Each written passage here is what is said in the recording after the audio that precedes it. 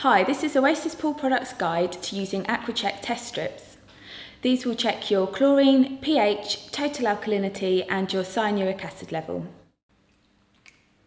Take a sample of water from about elbow's depth.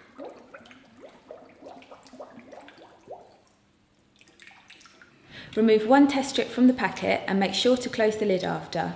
If your test strips get damp, they will be inaccurate. Never touch the colour pads on the end of the test strip as this contains the reagent and doing so can cause an inaccurate reading.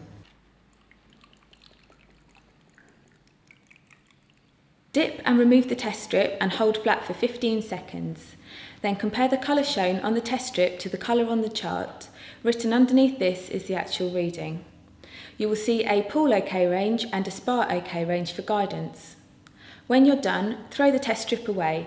Test strips cannot be reused and the colour will go off after a while.